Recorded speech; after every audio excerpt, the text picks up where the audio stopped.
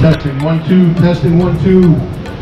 This is Larry, and I want to welcome you guys to the Larry and Steve information session. I just wanted to point out a few things. Options available for the truck are TVs, like the one you see here, sound system, speaker system. So, the microphones are for you to communicate. You can communicate with the guests once their food is ready. So it's a great addition that you might want to consider when you purchase your food truck or mobile kitchen from Concession Nation.